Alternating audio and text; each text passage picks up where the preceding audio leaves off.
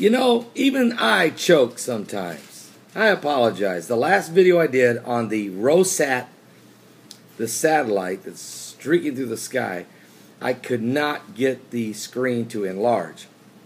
I could not get it. So when I watched the video after I posted it, I seen that it was just a black screen. You guys couldn't see it. It's it's too bad because it is fascinating. But on my radio show, we are going to talk about it, and Reverend Gary of Kentucky uh, should call in a little bit after 2 p.m. But I'm on uh, I'm on every day from 12 noon to 3 p.m. Eastern Standard Time, and it's going to be a powerful show today on what where www.libertybroadcastingnetwork.com. That's libertybroadcastingnetwork.com. Monday through Friday, I'm on every day from 12 to 3 p.m. Eastern Standard Time. I want you to be listening. Now, I've got those some powerful information coming to me from Stephen of Oklahoma. As the as the Black October, as you guys do know, there was two significant things happen. On God showed me a dream of a black horse galloping through a crowd of people and then a calendar. It said October. I could not see the year, and a black Monday was on it. Okay?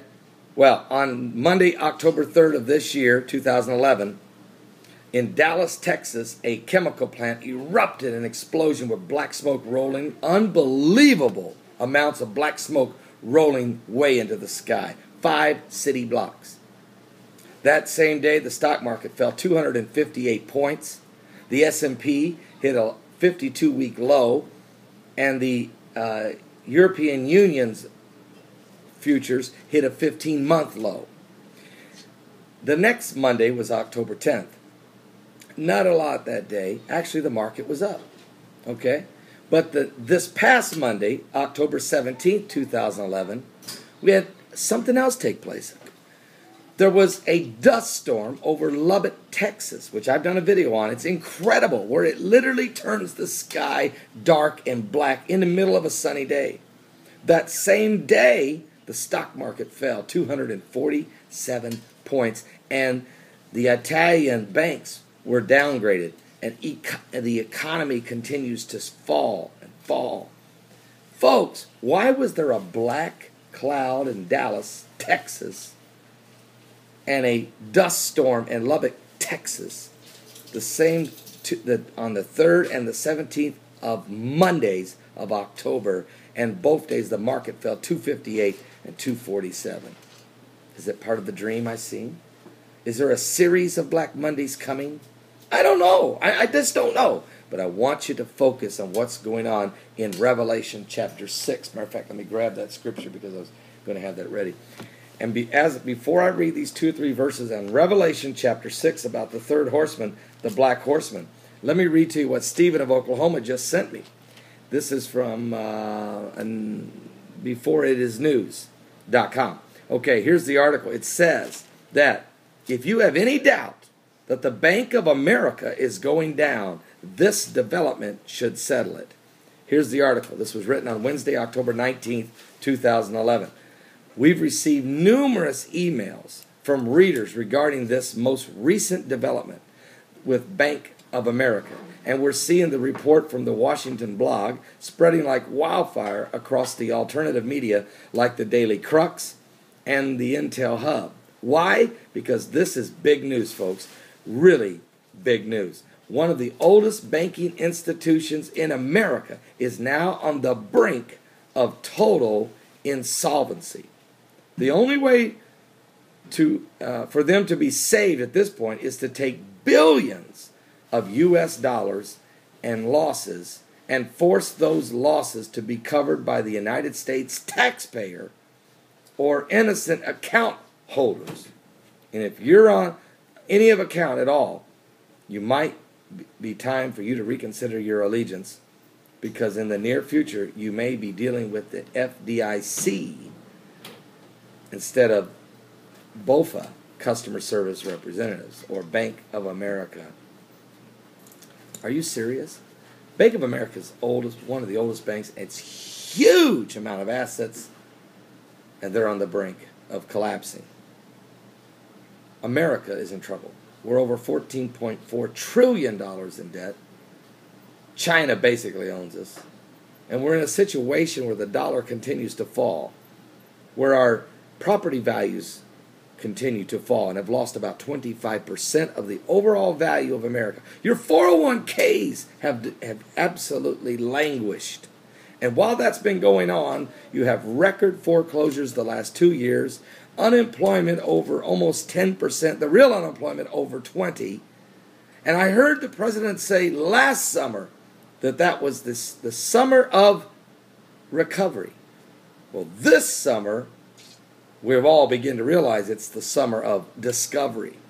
We've discovered that America is broke. We've discovered that the bailout plan of the banks in late 2008 and early 2009 between both Presidents George W. Bush and Barack Obama have done nothing to help Main Street, have done nothing to help the economy of the common people. But it has padded the pockets of the investment bankers. The reason the Occupy Wall Street started was probably over this very issue, but it has emerged into a mishmash of confusion. From every left wing liberal agenda stepping up and trying to lock arms, it's insane. I would highly recommend you stay away from it. Don't get in the snare of it, don't be caught up in it, but continue to walk as part of the body of Christ in the oil and the wine. Now, I had this dream of a crowd of people, and a black horse was galloping through them. I now believe that crowd of people on this crowded street was the Wall Street occupying. And the black horse is galloping through. It was not stopping in New York, or America for that matter, but has already been in London with the riots, Athens, Greece this week with the riots, and it's starting to spread around the globe as the economy is headed toward a collapse, a worldwide collapse, which would force a one world government or a new world order, or call it the beast in the Bible.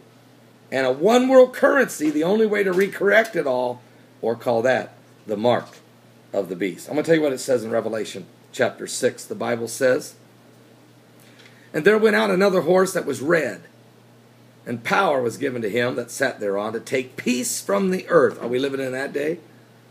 And that they should kill one another. And there was given unto him a great sword. And when he had opened the third seal, I heard the third beast say, Come and see. And I beheld, and lo, a black horse. And he that sat on him had a pair of balances in his hand. Are you serious? Are we talking econ- economic collapse? Are we talking a collapsing of Bank of America? Are we talking of a, of a currency, the dollar, worthless? And somebody asked me, should we buy into the Iraqi dinar? There's a push right now for people to throw thousands of dollars if you want to investing in the Iraqi dinar. Let me explain this to you right now. I'm not an economist. But I can tell you this is a do not throw your money at the Iraqi dinar hoping that there would be a 10 time return on it. In other words, some people are going out spending $10,000 on dinars hoping within 24 months they'll be worth 100,000. Are you serious? That's an that's crazy. It's not going to happen. Here's what you need to do. Read the rest of the scripture. So this black horse comes galloping and it has a pair of balances in its hand, okay? And I heard a voice in the midst of the fourth beast say, A measure of wheat for a penny, three measures of barley for a penny. See thou hurt not the oil and the wine. The oil and the wine is the anointed in grace. Oil representing the anointing, wine representing the grace of God. See it hurt not the oil and the wine. See that it hurts not the anointed in grace. Well, who are the anointed in grace? Those that have been washed in the blood them that are our children of God, them that have been saved through the grace of Jesus Christ, accept Him as their Savior. Now, to be protected from the black horse and the pair of balances and, and not be hurt during this time, you need to be tithing. You need to be tithing in the laws of God, Malachi 3. You need to be tithing into your local home churches or your favorite ministries. You need to do it. Stay in the oil and the wine. Stay under the blessing of Jesus. Do not come under the curse of the black horse. Do not fall into the trickery and the scams of man. You give your life to Jesus Christ and be saved. I'll be right back.